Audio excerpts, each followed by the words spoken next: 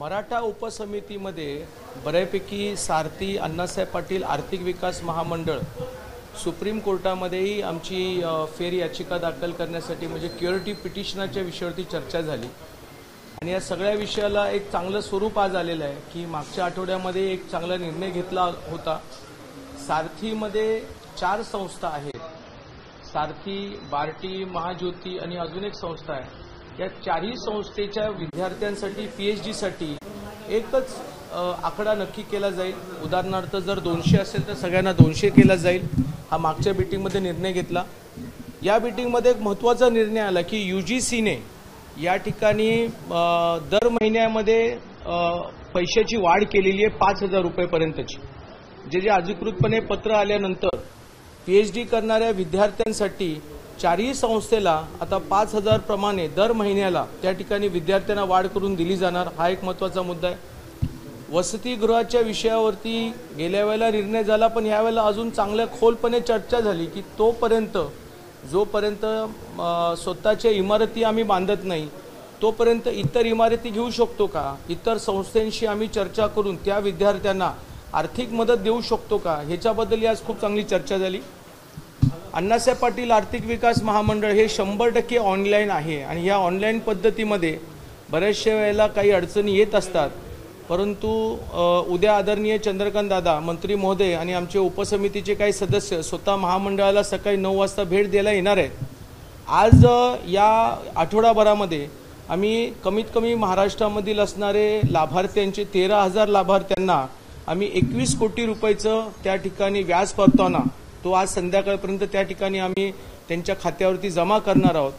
आणि आमचं महामंडळाचे उद्दिष्ट एवढंच आहे की कमीत कमी पंधरा दिवसामध्ये तरीही त्या असणाऱ्या लाभार्थ्याला त्यांनी जी मागणी करतात व्याज परतावण्याची ते मिळाली पाहिजे. ही गोष्ट खरी आहे की जे सगळे कागदपत्र योग्य अपलोड करतील त्यांना त्वरित देण्यासाठी आम्ही त्या ठिकाणी निर्णय करणार आहोत.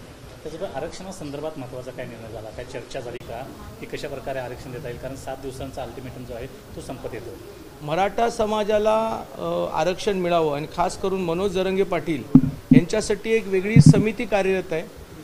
ती समिती आज बसवली नव्हती. ती समिती वेगळीच आहे देवराज साहेबांच्या नेतृत्वाखाली.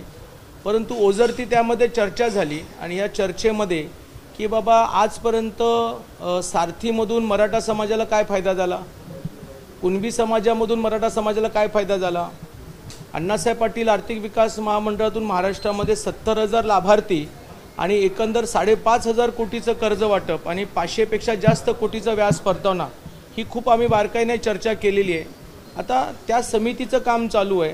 त्या समितीचं काम चालू असताना त्या समितीचा अंतिम काही रिपोर्ट आला नाही पण त्यांची चौकशी चालू आहे. त्यांचं काहीतरी सगळ्या कागोपत्री तपास चालू आहे. ते येईल त्यावेळेला नक्कीच राज्याचे मुख्यमंत्री म्हणून त्या ठिकाणी व्यवस्थितपणे ते जाहीर करतील.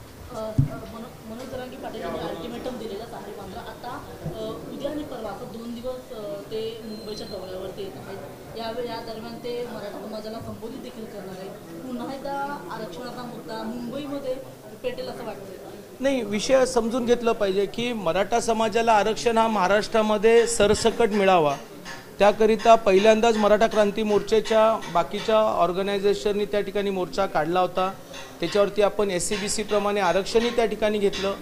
परंतु ते काही प्रमाणामध्ये आरक्षण महाराष्ट्र राज्य सरकारमध्ये टिकलं. कालांतराने ते टिकलं नाही. आता हा एक मुद्दा झाला जे केंद्रामध्ये सुप्रीम कोर्टामध्ये क्युरिटी पिटिशनच्या माध्यमातून ते अजून प्रलंबित आहे हा पहिला मुद्दा.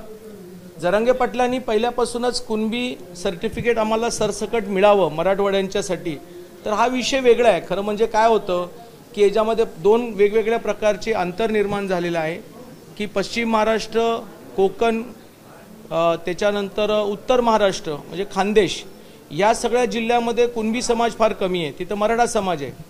त्याच्यामुळे कुणबी प्रमाणपत्रासाठी जो काही आंदोलन चाललंय आणि इथे ह्या विभागामध्ये मराठा समाज म्हणून आरक्षण मिळालं पाहिजे.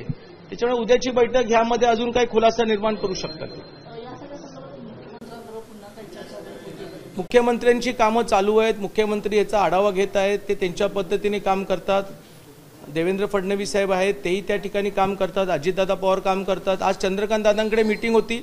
चंद्रकांत दादांनी या विषयावरती एकंदरच खूप चांगल्या पद्धतीने चर्चा केली. आणि तसं विद्यार्थ्यांचे काही प्रश्न आहेत सारथीच्या माध्यमातून सोडवण्याच्या दृष्टिकोनातून काही सूचना होत्या. त्या बैठकीमध्ये आढावा आणि सूचना हे दोन्ही कार्यक्रम चालत असतात. एबीपी माझा. उघडा डोळे बघा नीट.